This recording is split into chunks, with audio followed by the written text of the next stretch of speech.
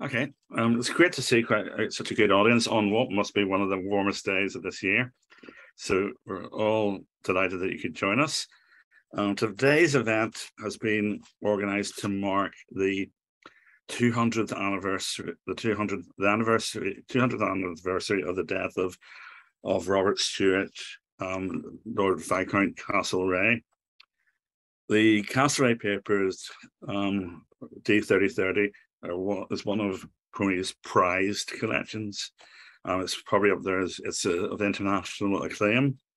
Um, it's it's one Crony owns. We procured it and uh, a good number of years ago when it was a lot cheaper to procure things. Um, it's it's one part of what is the is usually referred to as the Londonderry papers, which comprises four big collections. Um, the Castlereagh one is particularly devoted to Castlereagh himself. For those of you who maybe not overly aware of Castlereagh's um, legacy, he would be regarded as one of Ireland's leading statesmen, um, up there with you know the likes of Duffer, Lord Dufferin, Wellington. Um, he he was foreign ambassador. He was a politician of great renown. Um, he was assiduous supporter of emancipatory Catholics. Um, and he was also the person who brokers the Napoleon, post-Napoleon um, Napoleonic War in, in the Congress of Vienna. Um, so uh, a man of huge, um, huge activities to his name. Um, he was a he was a son of um, the second Marquis of Londonderry, um, another man of no less influence as well.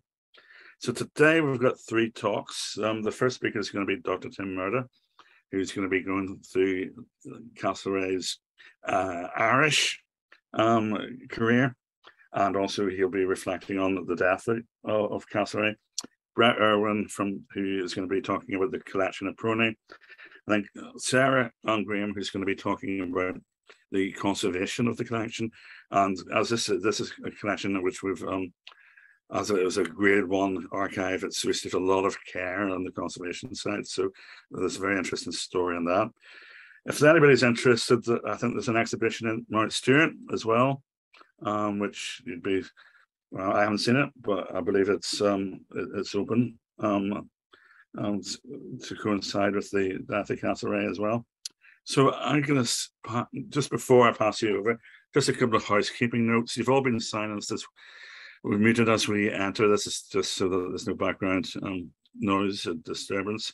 And um, there will be a QA at the end. The three speakers are going to speak for about 15 minutes each. Tim might be for 20 minutes. Um, and that will leave about hopefully 10 to a good 15 minutes at the end um, to ask the speakers any questions you have and um, you can turn your your your, your video off um, as well. Um, if you, uh, I should also say we're recording today's um, event, so you, if you don't want your face to appear in the recording, um, would suggest turning your video off.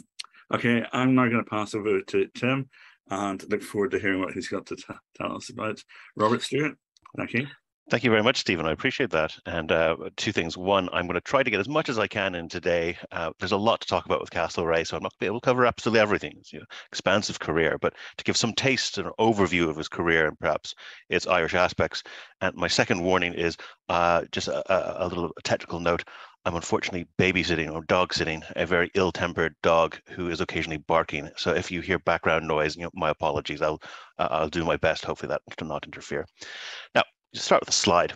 So today I'm going to just talk about um, sort of Castlereagh's what I call the Irish apprenticeship, and this term apprenticeship is often used for the earlier phase of uh, of Castlereagh's career. Uh, in the older writings on Castlereagh, the sort of early biographies, particularly early 20th century writings about him, really the Irish sort of aspect of, of, of his political life is often sort of glided over within in a chapter, whereas you know sort of huge amounts of space are given to his later career as a diplomat and in British politics, sort of post 1800. Now that is fair.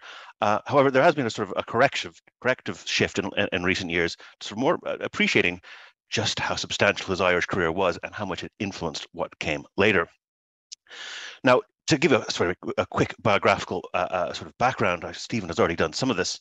Castlereagh was born in 1769, so he's sort of a, he's a young man. He's a, he's a he's a child at the time of the American Revolution and its immediate aftermath, which is an important context.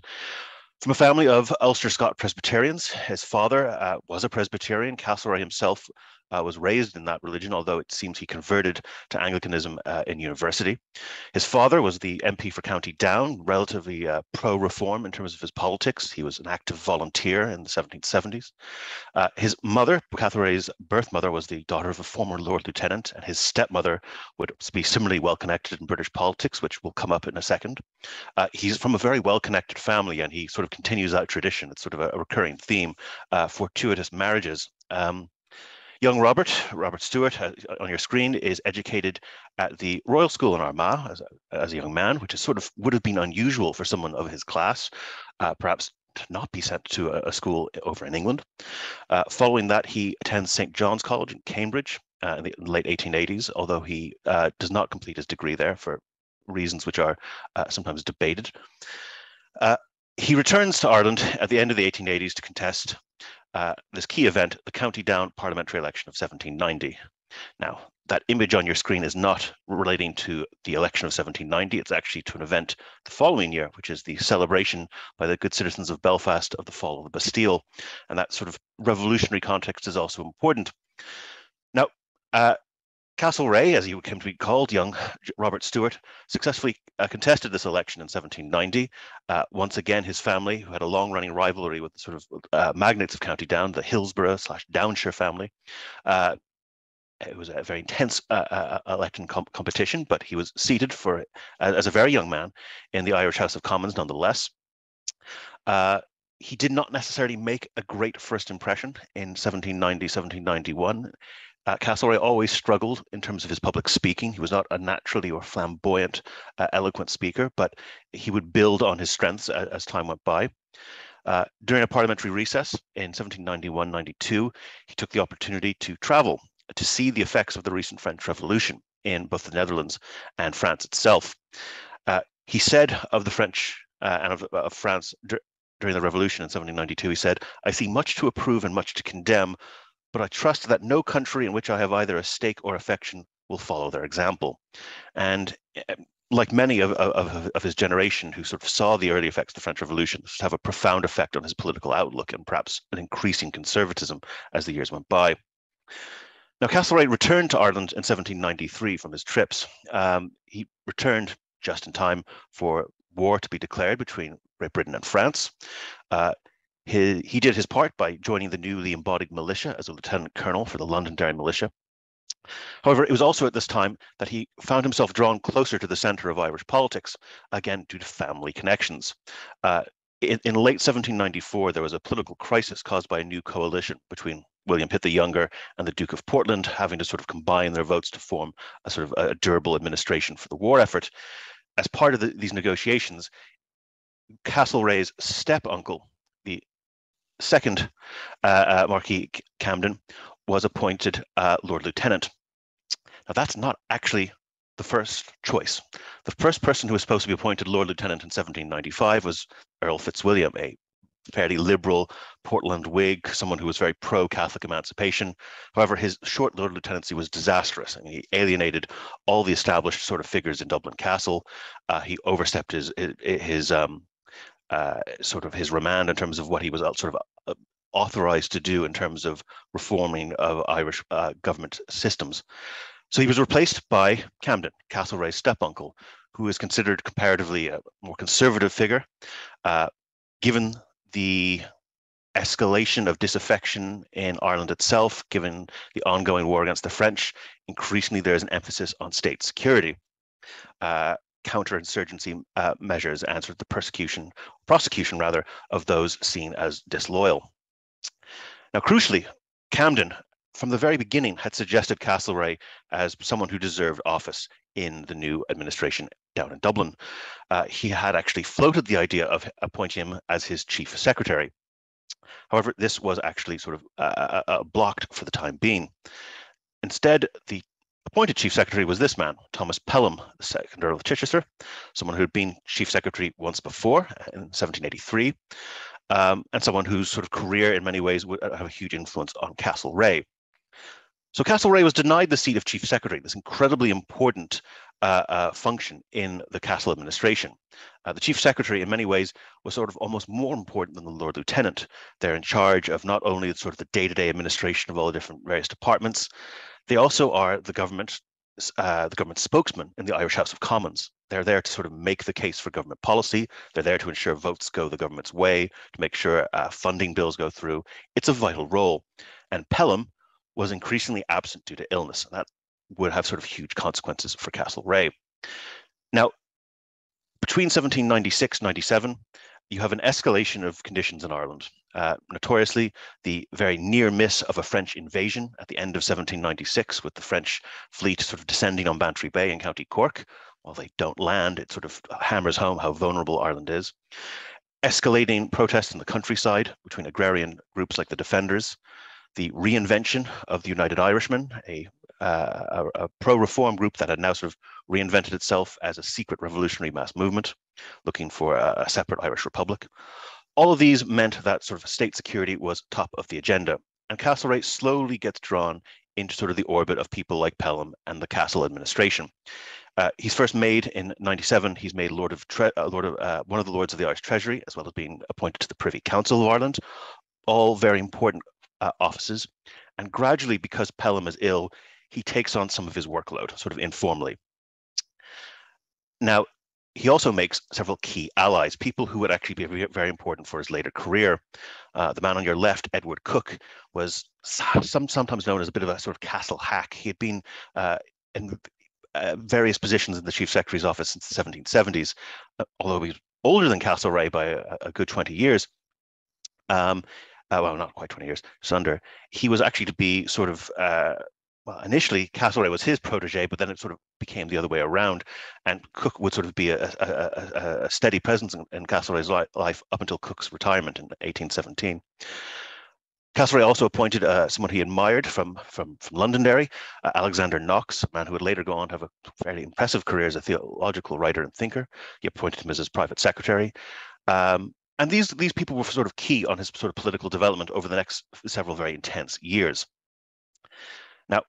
He is appointed as essentially acting chief secretary by early 1798. And of course, the year 1798 is uh, one that is pretty well known in Irish history for pretty obvious reasons. Uh, by that summer, an open rebellion had occurred, one that would kill 20,000 people by the time it, had, it, it was completely put down. Now, Castlereagh uh, he's acting chief secretary. He's taken on most of the sort of functions uh, of Thomas Pelham. He's serving initially under his step uncle, under Camden, but once this rebellion breaks out in May of that year, Camden is recalled. Um, it's pretty clear they need a, another more steady set of hands, a military set of hands. And it is this man who's appointed, General Charles Cornwallis. Now, you could forgive Cornwallis if he had turned up to Dublin and expected um, from from Castlereagh to essentially see someone who was you know relatively untalented, someone who was here sort of because of his family connections. That's not what he discovered at all. He was immediately very impressed by Castlereagh's uh, honesty, by his hard work ethic. Um, there's actually have a quote from Cornwallis about what he thought of Castlereagh. He said, "He concealed nothing from me. He pointed out all the characters with which I knew I had to deal." And this is important. He also showed me where my predecessor had failed his predecessor being Castlereagh's own uncle, uh, which is somewhat cold on Castlereagh's part, but also someone who is not unaware of the fa faults and foibles of his relations. Now, this is actually a very controversial part of Castlereagh's career, and in many ways, the sort of the legacy or uh, sort of the shadow of 1798 would haunt him for the rest of his life. Uh, Castlereagh would acquire a sort of reputation as a bloody Castlereagh, someone who sort of was a hardliner, imposing, you know, terrible sort of uh, actions against captured rebels during that summer. The truth is actually a little bit more complicated. Uh, Castlereagh was very much in, in line with Cornwallis, who was actually someone who saw a, a, sort of a tempered approach, a sort of somewhat lenient approach to the rank and file of the rebellion, people who found themselves swept up in this insurrection. Uh, Castlereagh actually had to go to the bat several times to prevent much more hardline figures in, in the administration from uh, doing things as, for instance, uh, executing without trial captured United Irish leaders. Uh, Castlereagh and Cornwallis were also sort of the masterminds behind a general amnesty for rebel rank and file, one that undoubtedly pre prevented numerous deaths. However, an image would sort of seep into popular culture as a result of this rebellion. Uh, the image would always always be of Castlereagh in his office in Dublin Castle, listening to people being flogged and tortured in the yard outside. Now, there's that there's actually very little evidence that actually happened. Now, people were tortured, people were flogged. That Castlereagh was sort of overseeing it or was so callous that he was sort of looking at it from his office window has never actually been proven. Nonetheless, this would be important for his future. By the end of the 1798, with the rebellion firmly put down, Cornwallis actually wrote to Pitt and to the London ministers saying that Castlereagh had been so crucial as an ally, he wanted him appointed to be officially chief secretary, no longer simply acting chief secretary. Now, there was actually quite a lot of sort of uh, resistance to this. Chief secretary, because it was such an important role, was something that traditionally had not been given to an Irishman. There was always a fear that someone who was actually Irish born would use it and use its power sort of for their own uh, political gain. However, and again, this is a quote from Cornwallis about Castlereagh, he is so very unlike an Irishman that I think you can uh, uh um, to London. He's saying you can you can basically appoint him.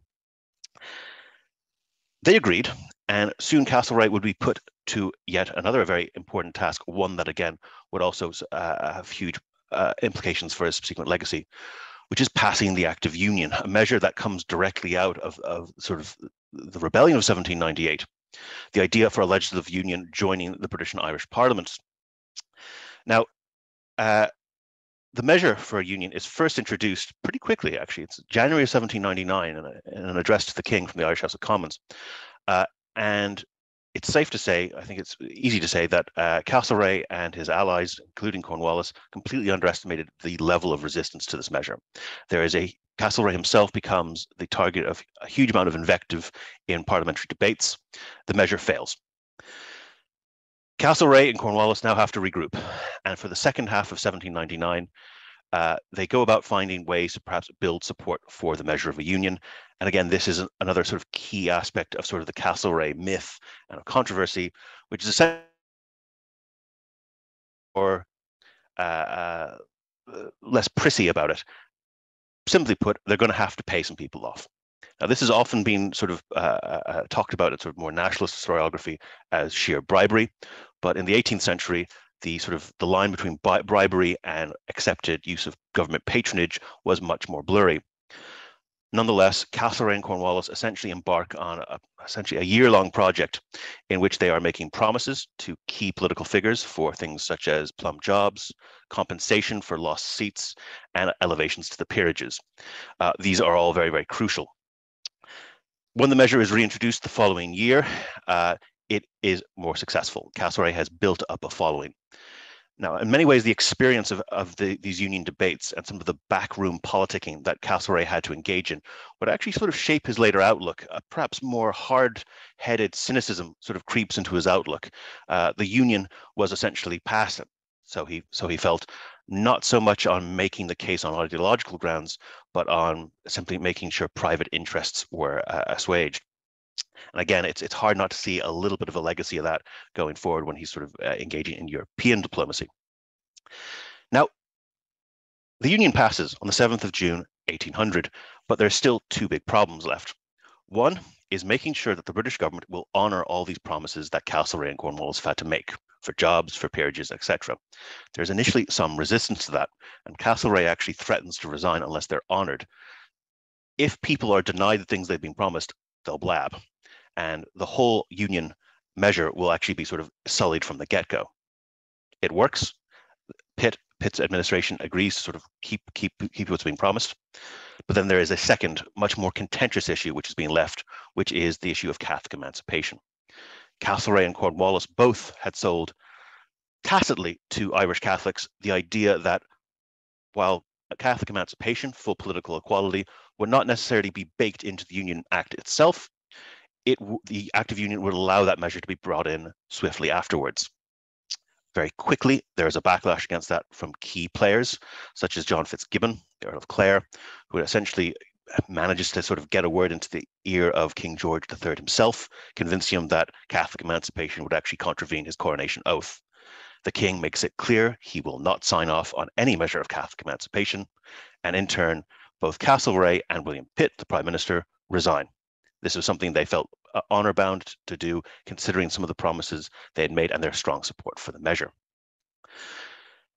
Now, before I move on, and I don't want to sort of step on the toes of either Brett or Sarah, uh, just a, a side note for anyone interested in studying more about the union debates, PRONI is probably one of the key places on earth to find out about what actually happened during those union debates. Because not only do you have Castlereagh's papers, one of sort of the key players, you also have several other great archival sources for key players.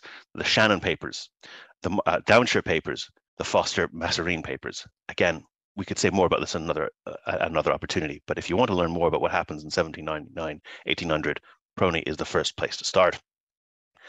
Now, I've talked about the failure of Catholic emancipation. I will I am sort of conscious of time, so I'm going to give you perhaps a, a, very quick rundown of his career in British politics, which is in many ways what more traditional accounts would have sort of done this backwards. Sort of the Irish stuff is prelude, and this is sort of where the meat is. I'm sort of suggesting that we should probably, just for the purpose of today, look at it the opposite way around. Now, Castlereagh was out of office in 1801, but not for long. Uh, under the resulting Addison, uh, Addington ministry, he was shortly appointed to the be to the uh, uh, president of the board of control, which is actually sort of the department in London overseeing India and the East India Company. He returns to office uh, under Pitt's return in 1807 to be made Secretary of War in the colonies. He's only doing that for a couple of years before he leaves office in 1809. He comes back in 1812 under Lord Liverpool, where he is appointed as Foreign Secretary and leader of the House of Commons. Now, he holds that post for the next 10 years, from 1812 to 1822. Uh, he is both Foreign Secretary and leader of the House of Commons. Uh, the reason for that is the Prime Minister, Lord Liverpool, sat in the Lords, so he couldn't actually be in, be in the Commons. Now, this is where sort of the, the, the sort of the bedrock of Castlereagh's reputation is made after 1812. Uh, the war turns for Napoleon. His disastrous Russian campaign, his defeats at Leipzig, ultimately lead to the Allied victory of the Sixth Coalition. And in 1814-15, a meeting of European diplomats, including Castlereagh as British plenipotentiary, who essentially carve up Europe post-war, uh, post-Napoleonic War, creating a series of treaties and alliances which come to be known as the Concert of Europe, uh, an idea that potential interstate conflicts can be measured, can be managed through a series of congresses and meetings and diplomacy rather than the war that they had known for the previous 20 years. Much of Castlereagh's reputation amongst historians comes down to simply this form, th th this achievement in diplomacy. Uh, none other than Henry Kissinger wrote his uh, PhD and subsequently his first book on the Congress of Vienna and particularly on the role of Castlereagh. Uh, John Bew, Castlereagh's most recent biographer, also a couple of years afterwards, wrote a book called Real Realpolitik, which gives you some idea of sort of why Castlereagh has been interested, interesting to subsequent uh, uh historians. Now, ironically, for all that sort of great reputation that he acquires in Vienna, post 1815, post Waterloo, he, he is haunted by things that happened nearly 20 years ago, 15, 20 years ago. His actions in Ireland are still sort of brought up against him. Here are some uh, examples of satire. Uh, Derry Down Triangle Castlereagh, as one 1819 uh, pamphlet describes him, Erin Bray. Uh, one person he had encountered, and I don't have time to talk about today, uh, Peter Finnerty, an Irish radical journalist who he'd encountered in Dublin in 1798, sort of comes back to haunt him Finnerty becomes a journalist in sort of Regency London and sort of harasses him with a series of pamphlets and even instigates sort of proceedings. Proceedings are instigated against Finnerty by Castlereagh in, in 1811. Again, bloody Castlereagh uh, and sort of his, his actions in his home country are continually the call. Now, because he is the government's spokesman in the House of Commons, he is the leader of the Commons, ultimately he takes the blame for a series of repressive, repressive actions that occur in 1819, 1820. With the fallout of the Napoleonic Wars, there's a vast economic recession. There's discontent, there's crop shortages, there's increasing protests for political reform, including most notably in Manchester in August of 1819, the meeting in St. Peter's Field, which is brutally suppressed by the local yeomanry and magistrates, leading to several deaths and hundreds of casualties. Uh, it is the event of Peterloo that leads several poets to pen lines about Castlereagh, for which he is probably best known. Uh, Shelley's I Met Murder on the Way, he had a face like Castlereagh. Lord Byron, uh, in the wake of Peterloo, pens how cold blooded, smooth faced miscreant Castlereagh dabbling his sleek hands in Erin's gore. It doesn't stop there. It's not simply uh, invective. His reputation is traduced in the press. Fellow MPs uh, opposition MPs bring up his actions in Ireland. He is even the target of a conspiracy in 1820 for assassination, a group called the Cato Street Conspiracy, who are actually sort of trying to uh, pick off uh, in, in one event several cabinet ministers, and he is sort of one of the prime uh, uh, targets. Now, these years also see his general decline, and here we are coming to the end, and I'm sorry if I'm going over time in the wake of sort of this, this intense period between Waterloo, between Peterloo, uh, indeed Waterloo and Cato Street, there are symptoms of decline in Castlereagh's faculties. Uh, his father died in 1821, seems to have affected him fairly badly. Uh, there are reports from several of his sort of private secretaries that his speech is declining, that he's sort of staring off into space during meetings. Uh, certainly, his parliamentary performance is sort of notably declining. And then in August of 1822, uh, he really seems to come off the rails. He has a private audience with the king, which is now George IV. And George IV, of course, was the son of George III, a king who had lapsed into madness at the end of his life. George IV is actually sort of very disturbed by what he sees. It's something very familiar, which is essentially, if not dementia, then some sort of mania. Castlereagh is ranting about plots against him, that he's being sought by the police, that he's been accused of homosexuality. Um, the king intervenes with the prime minister and says, basically, you need to give him time off to recover.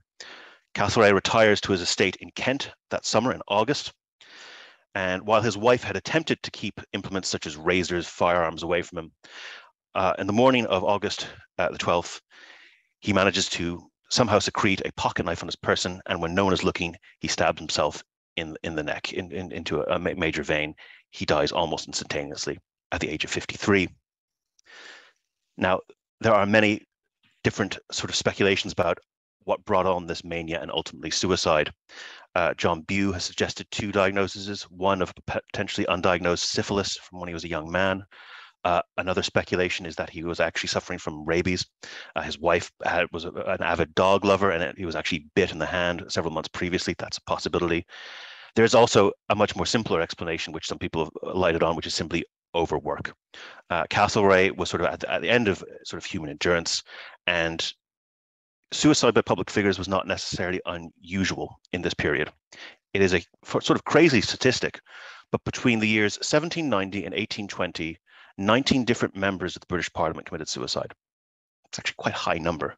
Uh, the new stresses uh, uh, uh, of sort of governance in these years brought many to the breaking point, and Castlereagh was one of them there are loads of things I could say on top of that and sort of perhaps draw some conclusions about sort of Irish legacies on, on his later career, but I think I've sort of made that point and I'm well over time. So I'm going to pass off back to my colleague, to Sarah Graham.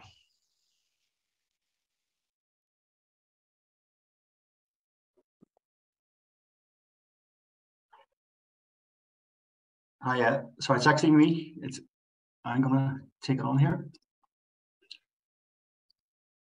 One second.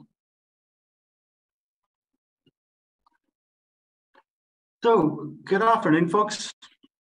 I'm going, uh, my name's Brett Irwin. I'm an archivist in PRONI, so I'm just going to do a brief presentation on the Castlereagh papers in PRONI.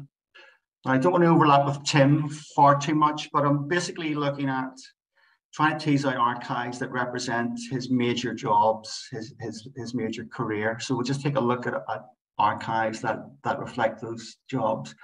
But I think it's nice to start with uh, Robert Stewart, aged eight years old. I came across this letter on the 6th of October, 1777. And it's incredible. There's a dear uncle, thank you for your kind letter. Presence, I am highest in my class. No boy shall get above me. Resolved to study very close when at my books, but play very briskly when disengaged. Sure, my and the letter continues. Sure, my sister Fanny, smallpox. I wish you understood how much I love her and all, all my friends. Indeed, I long to see Papa and Mama soon, and my friends at vacation. My love to cousin Price. And this curious line at the end of the letter is I am still a true American. So this struck me. Is this an eight-year-old boy espousing the libertine values of the American Revolutionary War, which is only going two years?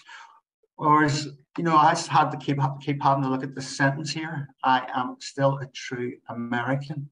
It's very curious. But I'm sure no doubt him and his schoolmates, word was was coming across of this conflict in Armagh. Maybe they, they were just talking about it and uh, he became rather carried away with it. But just a very curious thing to find in an eight-year-old child.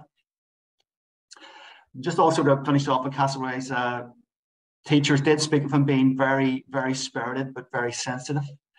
So from those ideas of an eight-year-old to this now the real politics in, in high high office is the you know the this acting and then chief secretary for Ireland. So we're moving along to the 1798 uh, rebellion. So one of the documents we came across here, that number there, the D3030, that's the reference number of the X document within the collection. So it's very interesting because there's a list of this is a document relating to the Curragh in County Kildare. And you can see on the flip side of this, the, uh, another page of this document, the, the intelligence information gathered about this particular area is absolutely substantial. So for example, here you've Thomas Kelly Esquire, Maddenstown, supposed to know everything relative to the carriage of the United men, but afraid to speak out. Every man upon the Curragh has a pike, they're hidden underground. There's 150 hand of arms hidden in Maddenstown bog. And then the sign of, of being united uh, the hands clasped, the right hand to the left hip, the words, be steady, I'm determined to free my country or die.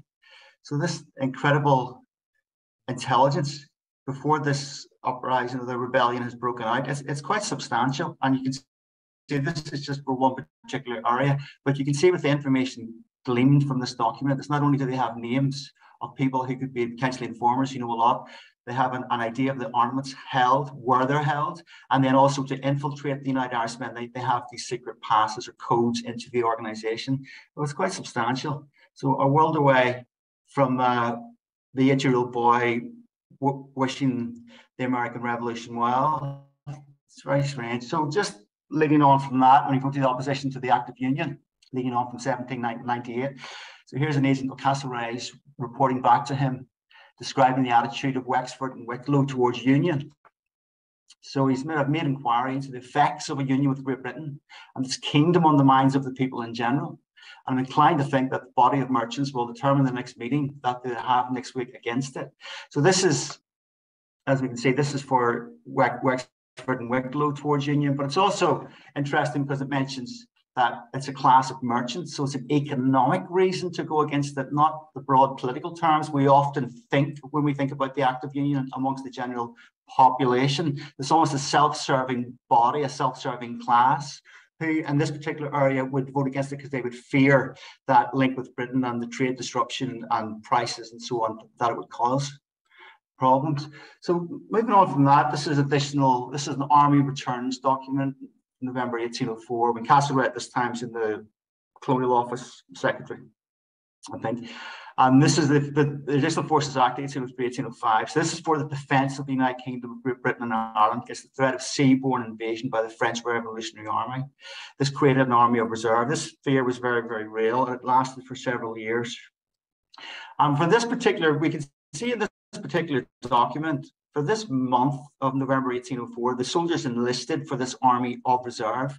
And it's often said the Battle of Waterloo, you know, the majority of Wellington's army was Irish. Well, not even not quite the majority, but certainly a substantial disproportionate amount of Wellington's army was Irish. And this snapshot here does give us an idea of the numbers enlisting from Ireland in this particular time. So England and Wales, 322, Ireland, you have 310, Scotland, you have 64. So it's a really disproportionate amount of, of, of people uh, enlisting from Ireland into the British Army. And again, this enlistment continued on and the, the army did eventually total something like 15,000. It did become quite a sizable force. But looking at this particular enlistments in Ireland is interesting because you know, Armagh, you've 95 enlistments, Cavan, you've seven, Dublin City, you've 125, you'd expect large urban area, Kerry, eight, you know, Louth, 108, it's quite a lot, Monaghan, one, Roscommon, zero. So it's not quite an urban rural dichotomy. There is, it's interesting to see where certain areas did have substantial enlistments, and as in the case of Roscommon, there's zero, so some places didn't, didn't have any. Uh, Belfast is not represented on this list, so I guess at this time it, it would come under Antrim, so which would just be given as 69. Uh, it's not actually rep represented here. So this French invasion scare, this continued for several years, as I said earlier. Now this was really in the minds of people and some of the newspaper reports and some of the fantasy drawings and so on at the time did, did were distributed around the population to create this scare. Because as, as we can see here, it's almost like a science fiction kind of look. I mean, who would have thought of putting a tunnel under the under the channel between England and France? I mean, that's just insane. That's never going to work. You know, these these hot air balloons flying in our ornaments, you know, these this French Navy blockade, you know, all this kind of stuff. So it did have, have a very, very powerful effect. In so much for this document here, this is an agricultural survey of maritime parishes of County Down. So Mount Stewart, which is which is uh, Castlereagh's ancestral home, you know, they were actually uh, organizing our agricultural surveys of parish because people needed to know how much crops do we have, how much cows, sheep, pigs, livestock, and dead stock, as they call it, in case the French army invaded we would know how much material and, and, crops and things we have and things we have to get out of that area. So this is real a really uh, very very curious thing, but very very strange. So moving on now to Castlereagh writing to Sir John Moore. This is Sir John Moore of the Peninsular War, and Castlereagh is basically writing writing to John Moore and saying, you know, under full persuasion of the importance of a large force of cavalry being attached to your army for the purpose of giving effect to the operation in which you are presently engaged. I cannot but regret the service even a single regiment of dragoons at the present moment be divested from your immediate support. Very long-winded way of saying I don't have any cavalry to give you because John Moore is under immense pressure in Spain because Napoleon has after the initial setbacks of the French army in Portugal, Napoleon has launched this massive counter sweep in, into Spain, which has blown away the Spanish army. It's a 200,000 strong French army. It's massive. Moore, uh, John fighting this very gallant rearguard retreat. And the way he's buying time is in order to get the British army, the transport ships that come, and to get the British army that's there away back to Britain because they're a danger of, the, of being destroyed. So there's a little bit about Sir John Moore there, where he's first went to finish the war, died at the Battle of Coruña, so this rearguard action is almost like a kind of Dunkirk feel to it, almost not the scale of Dun Dunkirk, but it's that kind of thing where to hold the French back, transport ships come during the night, get the army away. Moore pays the ultimate price with his life doing this. And Marshal Soult, the French opposite number to him, spoke very highly of John Moore. And where John Moore was buried in Coruña in Galicia, in northwest Spain, Marshal Soult had a monument put over his grave, which is there still to this day. It's a very fine statue of him in Glasgow city centre, actually, where he where he came from. So that's that one. So that's going on. So here we have a letter from George Canning.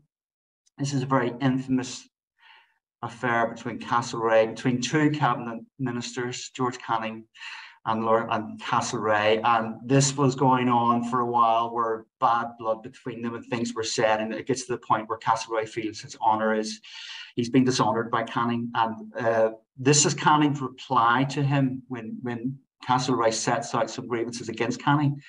I said, the tone and purport of your lordship letter, of course, precludes any other answer on my part to the misapprehensions and misrepresentations which it abounds. I will cheerfully give to your lordship the satisfaction you that you require. So this is two cabinet ministers. I mean, this is shocking. And I mean, there's there's a big debate going on now for the Prime Minister of the United Kingdom, and it's in television quite often. So if those that cabinet minister or former cabinet minister were just to say, I'm fed up, you know, Putney Green, 6 a.m., pistols at dawn. That, that's absolutely shocking. So it's shocking. It's, it's shocking then as it would be now. So this is this duel where Castlereagh, Canning fired, missed, and then uh, fired back and hit George Canning on the on the thigh. He recovered. So this is when uh, 1814. This is prisoners of war in Great Great Britain. We're just moving along now um, to another one of Castlereagh's posts. This is now the Foreign Secretary sort of era for Castlereagh. But it's interesting because when you look at this document, you think, okay, French prisoners of war in 1814, absolutely.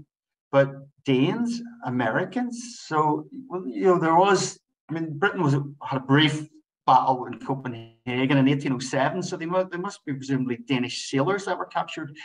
Still, you know, seven years later, still in, held in Great Britain because that continental system blockade is still in op- operation that Denmark was a part of against Britain. So that's why for that. And then, you know, it's interesting when Castlereagh is a boy talking about I'm a true American. There's a war in 1812 with America. There's a, the second war with, with America with with Castlereagh overseas and has to supply it has to get an army out there and has to get them supplied and all that thing. So he's these American sailors are captured um, and, and Marines and are held in Britain. And what's interesting about this, this is the main of the hulk of the prison ships. If we move it to the next document, are the, the prisoners of war in Great Britain, and it shows you how widespread they are from parts of Wales, the north of Scotland, and the border regions, the southeast England. And then when I'm looking down at this document, I seen in Peebles, which is a little village in the borders in Scotland, there's one American. So one American sailor is held in Peebles. I mean, that's why do we not know about the story? That's just, I mean, there must be a story there. It's absolutely fascinating. And I'd be, I'd be very intrigued if I could find out more about that. So let's see where we are. So we're of time here. So Napoleon's escape from Elba. So this is the the famous period known as the Hundred Days. So Congress of Vienna is in full swing, coming to the end of the Napoleonic Wars to try and resolve post post our Napoleonic Europe back together again. Napoleon sees otherwise and decides to leave his island prison, as it were, in Elba, and come back. And this mad dash that finally ends in the Battle of Waterloo in 1815. But when he came back and the, the, you know people didn't know it was going to end at the Battle of Waterloo, there was still not again a sense of here here we go. And this is an interesting letter in the Castlereagh Papers because this is one of the declarations that was sent to the to the diplomatic teams in Vienna. So this sort of declaration that form a the invasion of Napoleon Bonaparte, to excuse my French, but he's back, he's invading, he's the main army, he's back in France. So I'm sure there was a few shudders and shivers when the diplomats and their teams read this, although the main diplomatic teams in the capital cities, say in Berlin, Paris, London, Vienna, they would have known that he, he was back. Word did get out. Didn't officially trickle into the Congress till a few weeks later, but the capital cities and the and the and the teams there, they would have known that that he, he was back. And there was immediately, almost immediately launched a massive Russian Austrian army coming to Western Europe to, to counter this threat.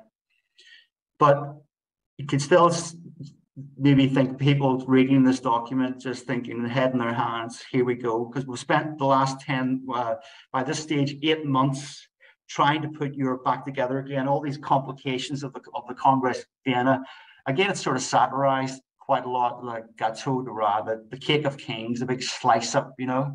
So every, everyone's wanting to get their their piece of europe. There's like presumably it's Castlereagh in the middle with the money with the scales holding the money. So Napoleon's wanting to take back France. You know, it's like Alexander of Russia wanting Poland, uh, the Austrians wanting parts of uh, Italy. You know, all these. Everyone has an agenda.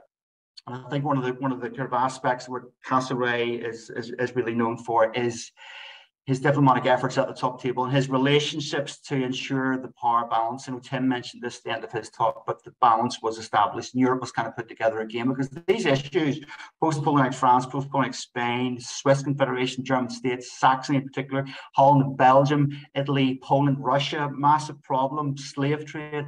These were these weren't going to be, be resolved easy, and it's, it's the, this work of Castlereagh that did put this Europe back together again in a way that peace more or less lasted the, the, the concert of Europe did ins- ensure that Europe was held together for 100 years, although there was wars with, you know, I suppose the, the, the Crimean War in the 1850s, with, which was more of a dispute between Russia and France over the Ottomans that Britain kind of joined in on. But by and large, this held. So I'd just like to say thank you very much for your time, folks. Okay, right. I am fairly unapologetically document heavy in this presentation, um, being from, from conservation.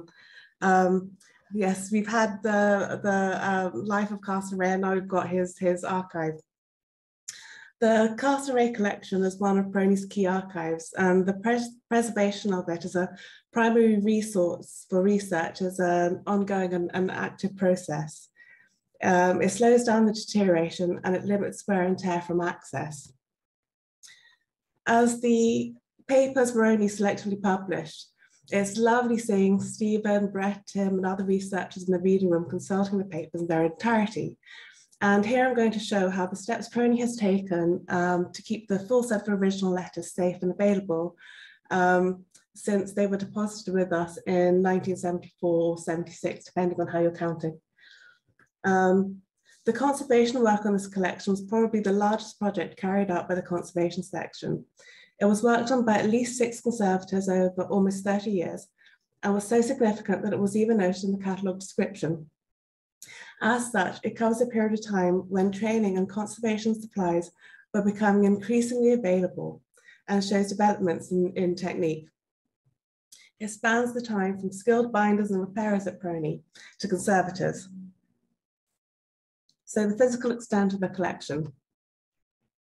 The catalogue has quite a thorough description of the collection, but in preservation collections management, we tend to refer to item levels and location data of the record. So there are about seven, so there are 7,657 entries, six and a half thousand of which are the Castlereagh papers, and the other thousand refer to letters, volumes, newspapers, and parchments under additional material. The papers were bound um, into 39 volumes and then rebacked in the 1930s. As the catalogue notes, the PRONI's conservation section removed the letters from the volumes into which they were bound with a destructive glue and in a way which made photocopying almost impossible. The originals were photocopied and the photocopies were tipped into the volumes and the volumes returned to the study in Mount Stewart. The originals were then bound in PRONI's own guard books. This is interesting because the collection now no longer physically reflects the units created at the time. Um, and this is only reflected in the Arabic pagination. The photocopying of the letters and their removal from the binding was the cause of interventive treatment, as the adhesive needs to be removed and the spine edge of the letters needs to be consolidated. So what were the housing solutions for these letters? The red leather and green buckram bindings were the first designed to attach the letters to a guarded volume. They were formed by sewing blank sections and cutting away the page to create a guard for the letter. There are a lot of blank sections at the back, implying that the batches of letters in each binding could have been much larger had they wished to make it so. After the first two volumes, we then start seeing the recognizable PRONI guard books are mentioned in the catalogue, which we see across our key archives and date to the mid-1980s. They were favoured in many archives as a mechanism of document security and embedded in studio-based training. The letters are either adhered or sewn onto single guards, which are then gathered onto posts. I think brass posts, but I've not been able to see them to confirm. Several documents were released from the binding for the Act of Union exhibition in 2001, which further reinforces these guard books as a function of stationery rather than a deliberate, a deliberate curated collection of letters, as they probably were previously. The second half of the letters were kept in, deta in detached bundles.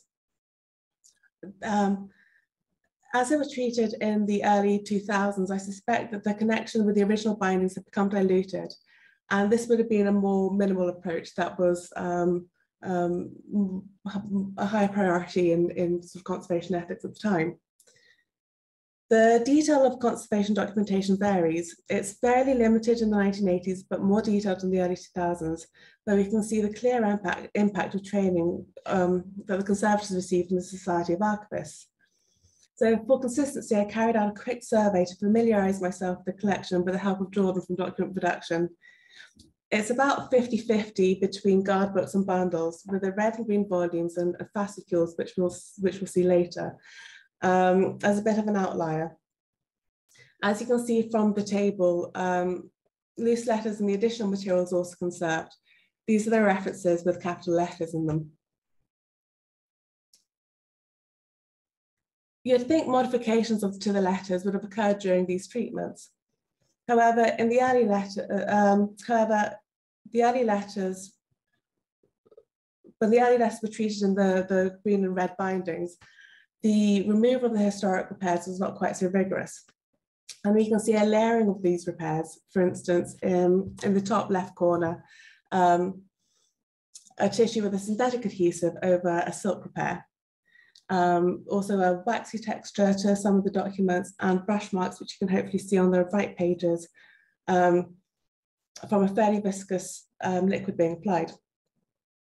This is where researchers are really helpful because you're my eyes in the collection. And Tim had previously highlighted to me the extent of fading of the inks, which could have been caused by some of these solvents, which makes it a really interesting area of um, further research, which I look forward to looking into. But what were PRONI's treatments? Um, the, Uh, at PRONI, the conservation was undertaken by document repairers who had come from other roles within the archive and to be trained in the studio. The early documentation of the letters may initially only have said conserved, guarded and filed, or conserved, deacidified and sized. But we still see the conservators using adhesives that aren't discoloring with age and starting to identify the paper mill.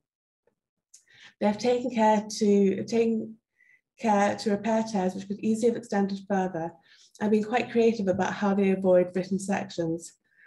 The thickness of the paper, however, is causing them some problems. Silking was a solution for, transparency, for transparency, which was still used in some studios when I was training. Often used over inks which are unstable because the ink is corroding through the page. However, they went out of fashion with the growth of conservation science as you can see that their aging properties proved to be comparatively poor. So the introduction of transparent heat set tissues, which we see on the right, seemed a great, great new material. Um, its application here might be a little bit um, heavy-handed because um, it's quite rigid, but it looks like the paper was damaged by mold and had felted. And so that's why this double layer of, of lamination was, was um, attempted. Work seemed to stop between 1985 and 1999 when conservators picked up the project again and kept letters as bundles. The main drawback of loose bundles is their long-term storage, and if the envelopes are too small, it can crease and tear at the edges. Along with IDOSing, grouping letters on the catalogue, uh, grouping letters in the catalogue, preservation staff will now go through and look at rehousing them in larger envelopes, which should fix that, that problem. The letters themselves were cleaned, washed, and deacidified with calcium hydroxide. You see Florentine repair technique written in the documentation, and this refers to met methods which were developed in 1966. At the time, there was a massive response within the profession to wash and repair books that were damaged by the dirty floodwater. The Castlereagh papers here were repaired with Crompton, uh, oh no, sorry, I wasn't the right, um, with Crompton Arch Archibald or Filmoplast R tissue. These repair papers are a lightweight manila tissue pre-coated with a stable acrylic adhesive, still marketed to the archive sector today, and are very quick to apply. We don't use them in the studio anymore because they need to be heated with a tacking iron and are only reversible with IMS. Instead, we use either fresh paste repairs or immoistable tissue, which can be activated or, and reversed with minimal humidity. What is lovely to see is the Conservators finding appropriate occasions to try out the application of wet paste, which might require a bit more skill, but is more flexible with other treatments. We also see 16 letters fasciculed. This dates it to after um, 1995 when the article by Christopher Clarkson came out. It was a technique he developed at the Bodleian uh, and was an alternative to guarding and filing um, was very popular because it had the advantage of a comfortable wide opening, but in a collection this big would be prohibitively time consuming.